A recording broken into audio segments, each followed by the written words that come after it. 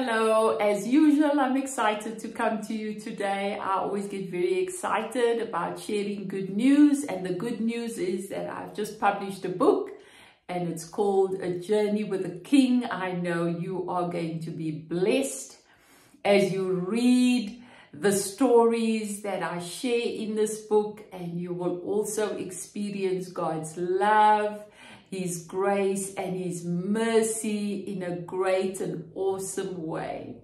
And so today we on day seven and it's chapter seven, which is called God Doesn't Need Your Help. And I think you've been where I was, where we always trying to help God out in some way or another.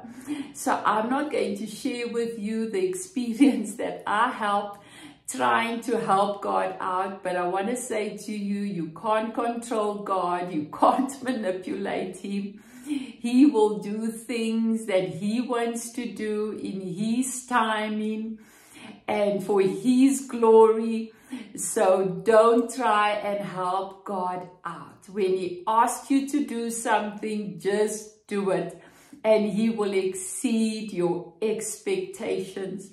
So I share a really great story about how I try to help God out. It's a funny story, so you're going to laugh, but I know that you probably have been there as well.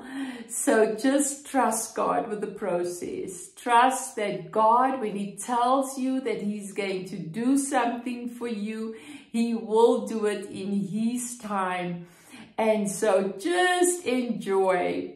Enjoy what God wants to do. He's not holding out on you. He wants to get things to you, but he's not going to do it on your time and the way you want.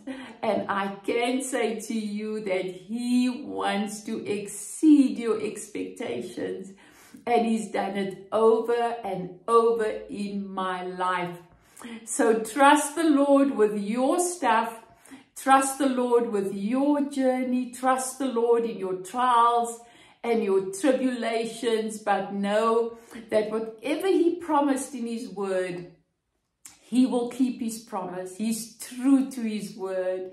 He will do what his word says he will do. And so don't try to help God out, but just honor him and love him and expect him to do amazing things in you and through you. So have a really great time. I want you to have a great time reading this book.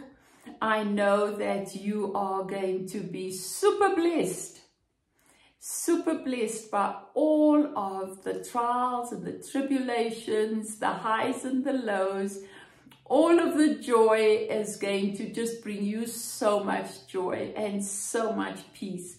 And I pray that as you read this book, that the Lord will do what he's done in my life and even more, that he will just show up strong and that in the process you will know how much he loves you. And that he's not asking you to be perfect he's just asking you to be willing and to step out in faith. So won't you pre-order this book a journey with the king by Mercia Scharneck and um, you can reach me on 076 600 6101 or email rejoicewithmercia at gmail.com. And soon I'll be telling you about the launch that will be happening in Johannesburg. We're aiming for the 22nd of July. So keep that date in mind and um, I hope by the end of this week, I'll be able to give you all the details about the launch and I'd love to see you there. Be blessed. Have a great day and know that God loves you. He's rooting for you.